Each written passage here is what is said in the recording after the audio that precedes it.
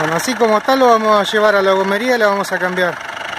Las cubiertas delanteras por unas de reciente adquisición. Y después a la vuelta bueno vamos a seguir con el tema de la estética.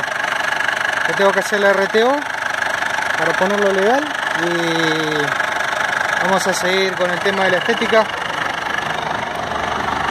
Este pintura eh, capot bueno un poquito mejor. Esta es toda la mugre que tiene encima. Cuando lo lave creo que va a tener 20 25 kilos menos de tierra. Hasta luego